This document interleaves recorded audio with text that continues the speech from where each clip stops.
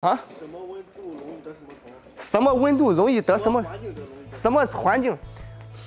我问问你，你你你一年四季得不得感冒？得不得？得。那我再问问你，你还还分搁家还搁公司吗？搁哪儿不也得吗？我跟大家伙说啊，植物的一个病虫害主要还是源于自身的一个免疫力。你没事的时候多锻炼。你像咱们养的花，你不论是咱们养什么花啊，首先我跟大家伙说啊，你第一点，你先拿捏住一个光照的问题。光照是给植物光合作用提供化学能的，是帮助它合成叶绿素啊，乱七八糟这些事儿的。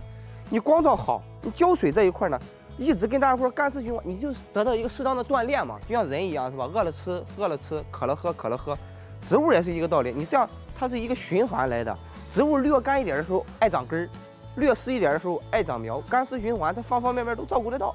你用土，你只要没有杂菌，没有虫卵。里边没有乱七八糟的东西，再加上排水透气，根系长得就更利落。它根系长壮了，光照又又适可了，它不自然而然就壮了吗？最后你再给它一个良好的通风、合适的温度，再适当的给点肥料，这笼统的一说，你看总结五个字，不就光水土气肥吗？你只要植物抵抗力强了，对吧？你来点虫子，它又能长出来新叶子；你来点病害，它自己能扛过去，这不就很完美吗？所以说啊，希望。屏幕前的各位臭宝哈，现在天冷了，没事多锻炼锻炼身体，好吧？哼，我是老花一，养花最专一，拜了。嗨，嘿嘿嘿嘿。